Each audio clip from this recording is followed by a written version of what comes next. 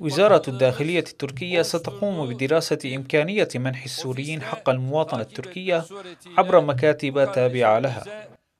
أثارت تصريحات الرئيس التركي رجب طيب أردوغان حول إعداد مشروع يمنح الجنسية التركية للراغبين من اللاجئين السوريين. أثار ردود فعل متفاوتة من قبل سوريين وأتراك على مواقع التواصل الاجتماعي. عدد كبير من السوريين في تركيا رحب بتصريحات أردوغان واعتبروها خطوة متقدمة تصب في صالح السوريين. فيما شكك آخرون بإمكانية منح السوريين الجنسية التركية وذلك لأسباب قالوا إنها تتعلق بعقبات لا تزال تحد من اندماج السوريين في المجتمع وتضيق من حركة تنقلهم بين الولايات التركية. تصريح أردوغان لاقى ردات فعل تركية متفاوتة أيضا حيث أطلق أتراك على وسائل التواصل الاجتماعي هاشتاغ معناه بالعربية لا أريد سوريا في بلدي.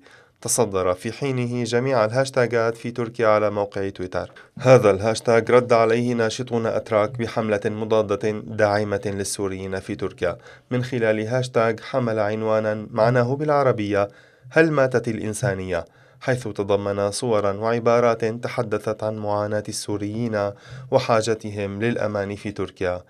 وما لبثت هذه الحملة حتى تصدرت قائمة الهاشتاغات في تركيا على موقع التواصل الاجتماعي تويتر. وحول الجنسية التركية وإمكانية منحها للسوريين في تركيا نشرت صحف تركية اليوم ما قيل إنها شروطا لمنح السوريين الجنسية.